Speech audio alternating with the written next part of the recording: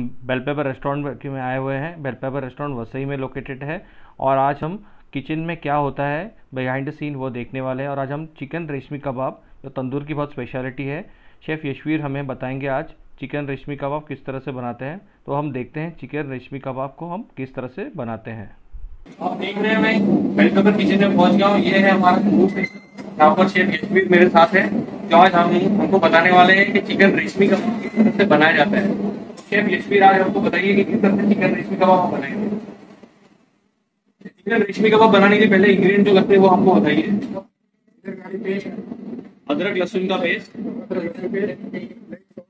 काला नमक।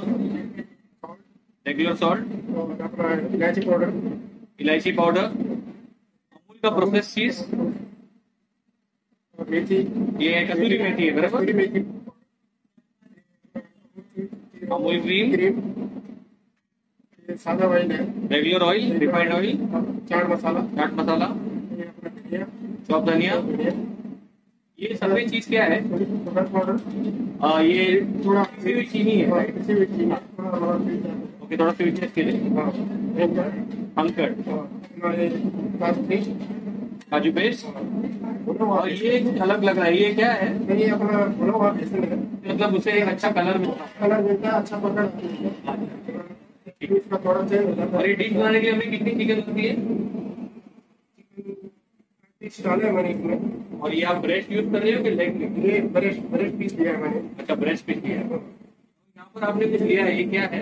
ये अंडा है जो उसका रेशम निकलता है। तो हम अंडे से ये अंडा है कि एग वाइट हाँ? एक वाइट है। इसका मतलब हम रेशम निकालते हैं। अच्छा।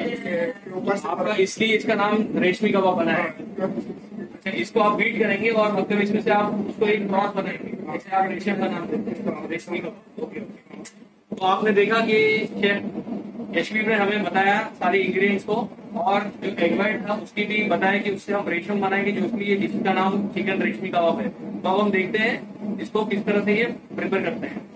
तो शेफ यशवीर आप शुरू कीजिए आप किस तरह से सबसे पहले स्टार्ट करेंगे सबसे पहले हम थोड़ा जिंजर गार्लिक पेस्ट डालेंगे। करीबन दो tablespoon ginger garlic paste garlic paste थोड़ा सा वाइट करीबन thirty two forty M L refined oil paste करीबन दो टेबल स्पून काजू पेस्ट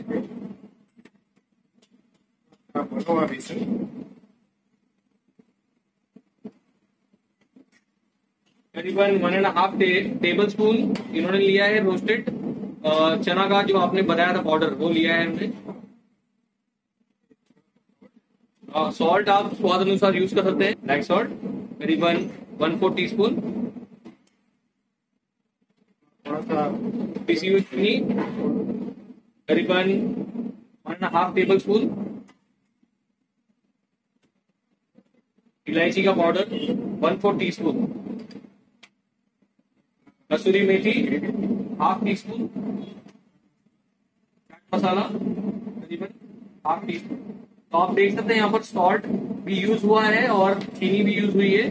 जिसको जिससे डिश को बैलेंस करने में मदद मिलेगी। और इसके अलावा ये डाल रहे हैं अमूल की प्रोसेस चीज़ इसमें थोड़ा सा सॉल्ट का कंटेंट होता है, पर उन्होंने ज़्यादा नहीं डाला है। करीबन वन टेबल स्पून उन्होंने चीज़ डाला है।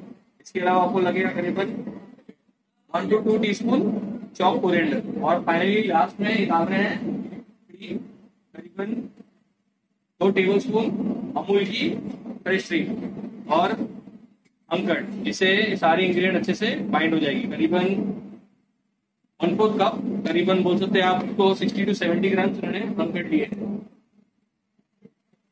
सब शेफ शेफ आप इसे हाथ से मिला रहे हैं। यूजुअली लोग हाथ से प्रेफर करते हैं क्योंकि उससे क्या होता है मसाला अच्छे से मिल जाता है। मसाला अच्छे से मिलता है अच्छे से मिल जब आप चम्मच से मिलाते तो आप उसे अच्छे से घोल नहीं पाते। अच्छे से घोल नहीं पाते। हैं और उसमें लम्स रह जाते हैं जाते हैं अपना थोड़ा रह जाते हैं।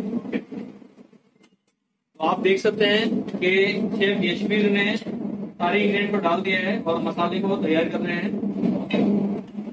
आप देख सकते हैं इसका जो कलर है वो पीला है। पीला आने की वजह है इसमें हमने थोड़ा सा सैफरन वाटर डाला है। अगर आप सैफरन वाटर अगर आपके पास अवेलेबल नहीं है तो आप हल्दी का इस्तेमाल भी कर सकते हैं। तो इससे एक बढ़िया कलर मिलता है डिश को अब हम इसमें चिकन को ऐड करने वाले हैं।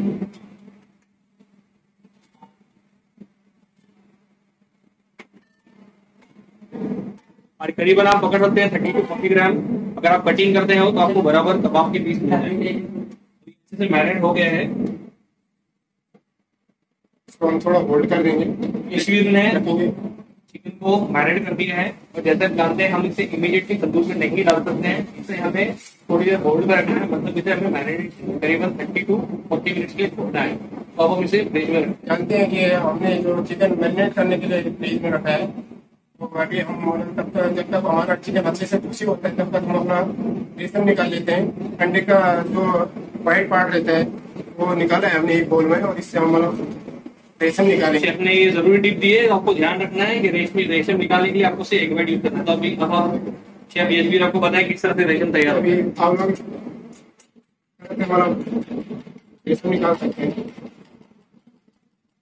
आप देख सकते हैं यहाँ पर शेफ यशवीर के पास एक अलग से बीटर है जिससे ये बहुत जल्दी बन जाएगा। और अगर आपके पास ये अवेलेबल नहीं है तो आप फोक से भी इसे बीट कर सकते हैं। आप देख सकते हैं, करीबन दो से तीन मिनट हो गए हैं और आपका रेशम लगभग तैयार होने आ चिकन के ऊपर जाने वाली है। तो ये हमने तैयार कर लिया ताकि हमारा जो टाइम है वो इसे यूटिलाइज हो जाए जब हम कबाब रेडी करेंगे। हम इसे तैयार करके थोड़ी देर फ्रिज में सेट होने के लिए रख देंगे। और आपका रेशम एज पर शेफ यशवीर तैयार हो गया है। अब हम इसे फ्रिज में थोड़े से रेस्ट करने के लिए रखेंगे। हम मीन टाइम में हमारा मैरिनेशन भी चेक करते हैं। अगर हमारी तैयार है तो हम नेक्स्ट स्टेप पर जाएँगे। तो अभी आपको मालूम है, हमने वो चिकन फ्रीज में डाला था। अभी वो अच्छे से उसने मतलब अपना पकड़ बना लिया मसाले ने तो अभी हम उसको लगाएँगे सरिया के शेफ यशवीर ने करीबन 30 मिनट के लिए चिकन को मैरिनेट करने के लिए रखा था। तो 30 मिनट हो गए, अब हम चिकन को सलिए पे लगाना शुरू करेंगे, जिससे हमें इसे तंदूर में पकाने के लिए आसानी हो। आप देख सकते हैं किस तरह से चिकन को स्टीवर्स पे डाल रहे हैं। करीबन आठ पीस, हम लोग एक क्वेश्चन में करीबन आठ पीस डालते हैं। तो उसी तरह से वो उसे अच्छे से स्टीवर को लगाना शुरू करते हैं आप देख सकते हैं, आप यहाँ देख सकते हैं किस तरह से उन्होंने अपने हाथ से अच्छे से स्टीवर को लगा दिया। आप देख सकते हैं कि यशवीर ने बचा हुआ मसाला चिकन के ऊपर अच्छे से कोट कर दिया है, ताकि उस पर इवनली सारे जगह पे मसाला रहे और इसे कलर भी बढ़िया मिला है। येलो कलर आप देख सकते हैं, उन्होंने बताया था कि उन्होंने सेपरेट या तो आप हल्दी का इस्तेमाल करते हैं चीज़ के लिए तो हमारी जो चिकन ग्रेवी है, वो सीख पे चले गए अब हम इसे तंदूर में डालने वाले हैं।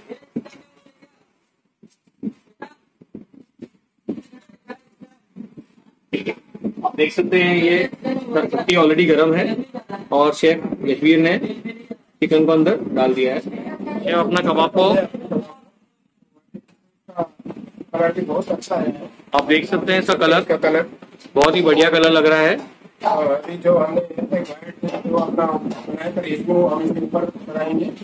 तो शेफ अब इस पे रेशम लगाना शुरू करेंगे। वाले हैं आप देख सकते हैं। रेशम जो हमने तैयार किया था एग वाइट का। वो बहुत ही बढ़िया रेशम लग रहा है।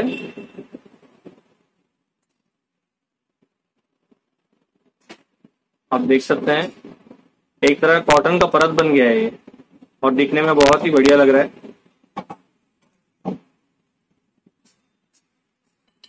उसको आप, आपको पूरी तरह से कवर करना है। अच्छे से कवर करने का है। अच्छा इसे अच्छे से कवर करके फिर आप इसे फिर से कुक करेंगे। थोड़ा कुक करेंगे इसको बेटी में। इसका जो है इसका कलर बहुत अच्छा आ जाता है। ठीक है। आप देख सकते हैं शेफ यशवीर ने रेशम लगा दिया है और अब इसे वो फिर से ओवन में करीबन दो से तीन मिनट के लिए कुक करने के लिए डालने वाले हैं ताकि इसे बढ़िया कलर आ आप देख सकते हैं रेशमी कबाब तैयार हो गया है इसे अच्छा कलर आ गया है। अब हम इसे प्लेट करने वाले हैं। हमारी प्लेट तैयार हो गई है। अब हम इसमें रेशमी कबाब को रखना शुरू करेंगे।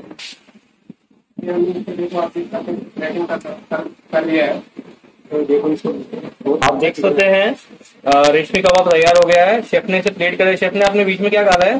ये बीच में अपना टमाटर का टमाटर है। टमाटर का रोज बनाया आपने। वाह बढ़िया। और आपने नीचे एक अच्छा सा सैलेड डाला है।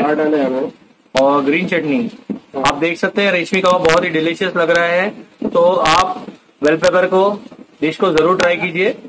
और वेल पेपर ऑनलाइन अवेलेबल है, आप टेक अवे डिलीवरी के लिए इसे ऑर्डर कर सकते हैं।